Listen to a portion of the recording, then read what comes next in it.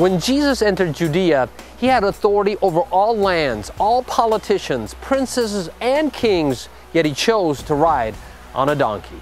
When Jesus was at the Last Supper, he was called teacher, master, and rabbi, yet he humbled himself by washing the feet of his disciples, even Judas's feet.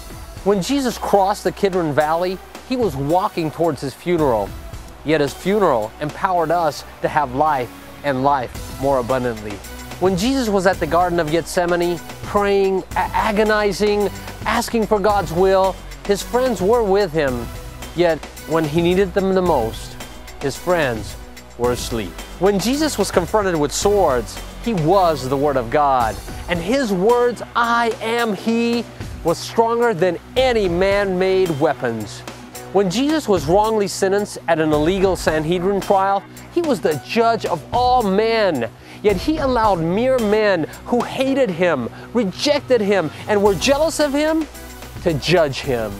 When Jesus stood in front of Pilate, Jesus was the creator and the ruler of all the universe, yet he allowed Pilate, a governor, to rule over him. When Jesus was brutally beaten with whips and fists, he had the option to tap out by calling on his angels, yet he took the blows for our redemption. When Jesus was sentenced to death, Barabbas, a vile criminal, was set free. In fact, Barabbas is you and me.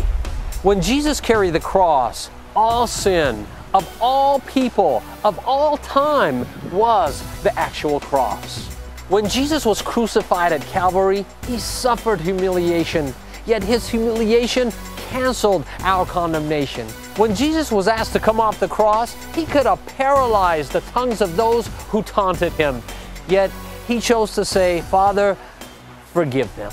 When Jesus cried out, It is finished, the sky thundered, the earth shook, and the temple curtain tore, and law turned into grace because of our beautiful Savior.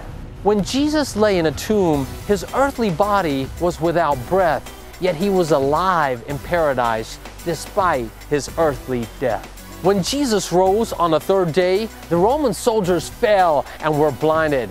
Heaven's victory shout was sounded. Hell's demons were devastated. Death, lies, and sin were defeated.